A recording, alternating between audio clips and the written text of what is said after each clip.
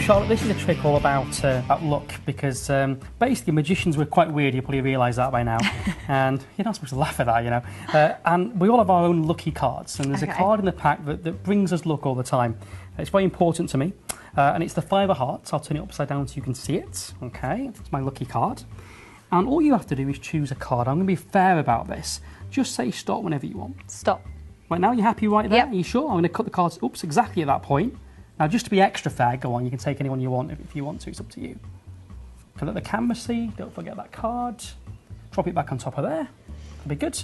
We'll drop these on top, and just to make it even fairer, how's this? Give the cards a cut for me as well, like that. Okay. Go for it. Perfect.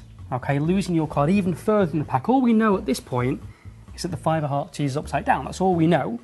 And for this trick, a lot of normal people would just cut the cards pretty much in half. I'm a magician. It's OCD thing going on. I can't do it like that. I've got to be very precise, okay?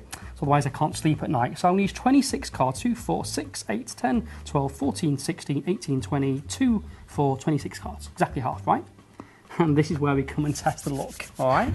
if I deal through these cards one by one, when I get to my lucky card, we'll stop because that is the test. If it doesn't work, we'll just go home and cry, okay? So let's see, just a few more cards to go. And I hope this is going to work perfect. There it is. Moment of truth. Charlotte, what was the card that you picked? Queen of Spades. This doesn't always work, but it did work. It worked. it's pretty lucky, right? But that is not why I call this my lucky card. That's not the only reason, anyway.